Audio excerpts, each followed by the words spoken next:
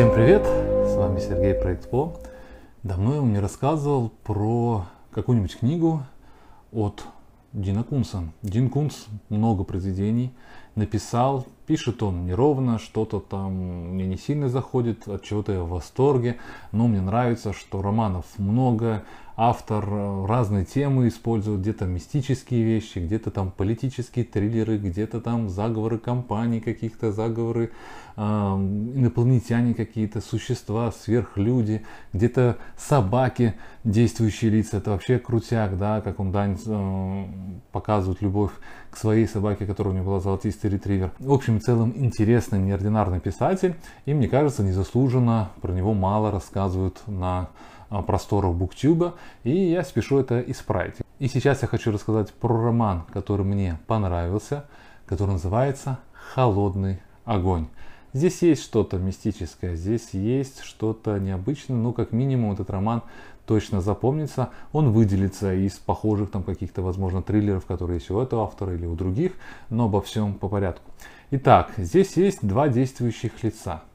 Один это парень, который э, непонятно э, откуда получает информацию и занимается спасением то детей, то людей, попавших в какую-то беду.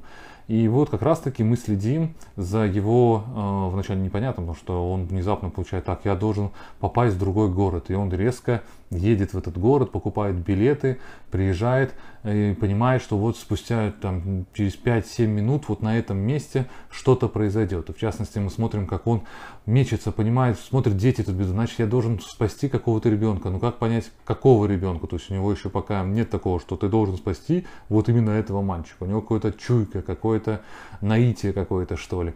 И вот он э, думает, вот сейчас произойдет беда, стоит, вот дети идут, на него смотрят, потому что он такой активный какой-то, странный, на него все смотрят со стороны, что, что происходит, он сюда бежал, еще там растолкал каких-то людей, и внезапно там вылетает КАМАЗ и, ну, не КАМАЗ, грузовая машина, да, все-таки место действия в Америке, и он бросается и спасает застывшего ребенка там, и сам получает травму, но э, ты такой, вау, ничего себе, что, что это за человек, откуда он получает эту информацию. Этим же вопросом задается и вторая героиня, как раз которую он толкнул, когда бежал сюда, и это оказалась журналистка, но журналистка, которая потихоньку заинтересуется этой историей, поймет, что что-то здесь есть такое мистическое, непонятное, странное, а потому что она начнет искать информацию про нашего героя, она начнет уходить, ага, смотрите, ведь он не хочет быть героем, он сразу с места спас ребенка и пропал. Она начинает собирать про него информацию, смотрит, что в новостях у него там глаза выделяющие, да, у него там голубые яркие глаза, и если кто-то описывал вот так спасшего его человека, то она пыталась собрать всю эту информацию и понимает, что этот человек действительно много где побывал в разных городах и занимается тем, что спасает то детей, то каких-то людей от, а, от гибели.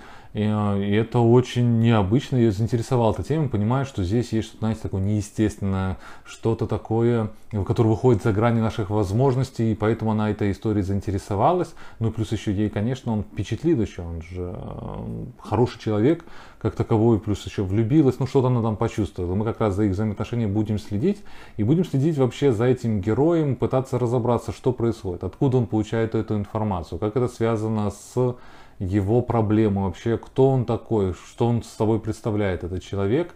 Все написано хорошо, захватывающе. Меня очень шокировали некоторые сцены, вплоть до того, что конкретно здесь меня прям очень напугала э, сцена с падением самолета. Вот как там все четко, как там все так по-саспенски, знаете, так, так атмосферно все было написано, что прям дрожь брала. У меня и так страх к самолету, и тут еще ты читаешь, как это может произойти, какая-то вот ситуация, что самолет падает, да, можно ли выжить или выживает ли кто-то. Вот это все так подробно описано. Сама катастрофа, там, кто выжил, как спасатели работают, как пилоты какие решения принимают. Это, конечно, прям ужас. Вот одна из мощных сцен, наверное, одна из пугающих сцен. Даже вот, помните, я как-то рассказывал про сборник Стивена Кинга э, у него был как раз на тему, связанную с полетами самолетов и так далее. Вот эта, эта сцена бы сильно бы, если бы это был как рассказ, она бы сильно туда хорошо вписалась. Она на меня очень мощно впечатление а, произвела, действительно пугающее. Ну и потом к чему мы приходим? Приходим к проблемам, мы приходим к психологическим каким-то проблемам, связанных с а, пониманием нашего прошлого, страшно, как понимаем, как в детстве очень сильно на нас влияют какие-то пугающие события, какие-то страшные события, как мы мало знаем о нашем мозге, как что-то может заблокироваться, какие-то воспоминания, они важны. Но вот как раз-таки наш мозг нас бережет, бережет нашу психику, он что-то прячет. И вот как раз в этих тайнах, и эта героиня нас, нам поможет разобраться, что было в прошлом у главного героя. Хотя я не скажу, что прям главным героем сопереживаешь очень сильно в том плане, что они там какие-то мега хорошие или нет. Тут на самом деле э, они вначале не определено, как за него болеть, если он сам не знает, почему должен это делать, почему его так сюда это все ведет. Потом я сначала немного даже подбешивал эта журналистка, потому что она такая, ну, ты спасаешь людей, да, когда она с ним будет говорить, например, и такая напролом там все валит, валит, вот прям вот так вот цель, цель свою, как говорится, нашла, столько лет жила какая-то безвольная была, а тут вот резко что-то у нее включилось. С другой стороны, тем интересно, что люди живые, то их то не понимаешь, что сопереживаешь, что потом бесит они, то потом обратно соберется. Причем у меня кардинально менялось отношение. Вначале меня бесила журналистка, вот, но потом смотришь, как она это все переламывает и пошла, пошла двигаться вперед и вытаскивает, и много-много чего она делает и по сюжету, и для, собственно, для главного героя. Но и, и этот э, парень тоже вначале такой непонятный, вроде бы как супергерой, он там и прыгнет, он рискует своей жизнью, он там курсы прошел и так далее, чтобы он понимал, что он будет готовиться к определенной миссии, так сказать. Но потом внезапно, когда происходит там интересный контакт с, с тем, что, ну вот, что его направляет, что ему подсказывает, и он себя как какой-то тялё какой-то ведет, а потом еще запутавшись когда-то, когда в прошлом начинает копаться, пытается найти, и казалось бы, при чем здесь а, озеро и свечение с этого озера, но все, как-то ты думаешь, блин, ну, ну серьезно? Но вот как раз таки этот дуэт, который вот так сплетется, который э, меняться будут, да, взаимоотношения, и сами эти герои немного изменятся, показывают нам, что это все живое, это все интересные, Э, люди, которым можно сопереживать, которых ты можешь понять, именно из-за того, что вот такие они непредсказуемые, что они ну, живые в конце концов. Действительно хорошая, цепляющая история, понравилась мне и развязка. Э, что-то, конечно, можно подшлифовать, там стрезинка немножко э, провисла, но знаете, ну вот сцены с самолетом, еще там несколько сцен спасения, оно прям въедается в память, это очень мощно. Вот. Хотя кому-то покажется развязка довольно банальной, когда пытаются объяснить, что это, с чем это было связано.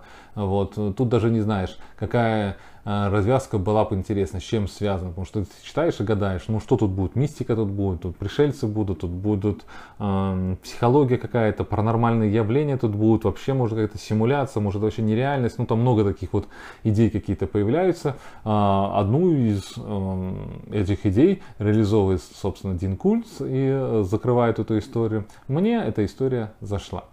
Читайте хорошие книги. С вами был Сергей, проект ПО. Пока! Thank you.